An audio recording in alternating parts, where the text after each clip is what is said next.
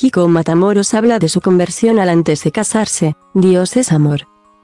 Kiko Matamoros lleva muchos años en televisión y ha dado su opinión de muchísimas cosas.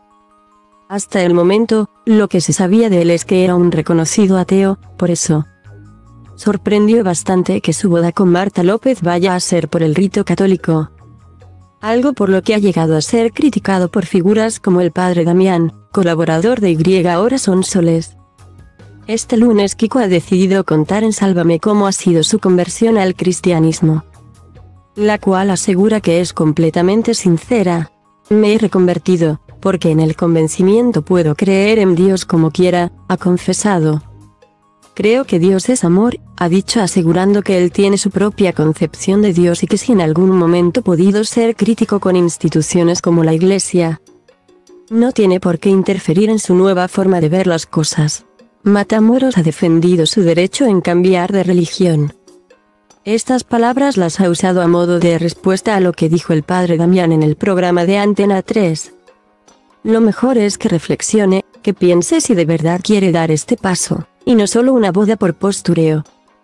Que parece que es más bien eso, dijo en el magazine de la competencia.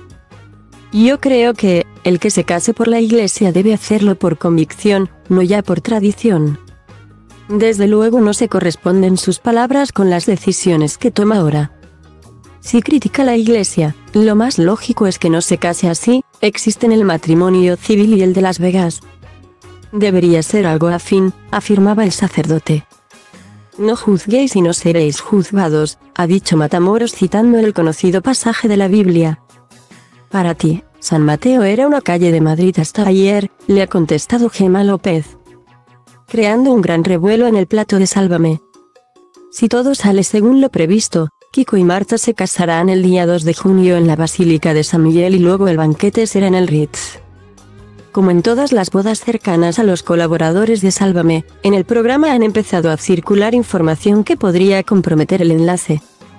En concreto, desde el programa aseguran que hay alguien intentando reventar la exclusiva de la boda, con la cual se va a pagar gran parte del enlace algo que podría verse comprometido si se llegan a publicar cosas como una foto del vestido de la novia,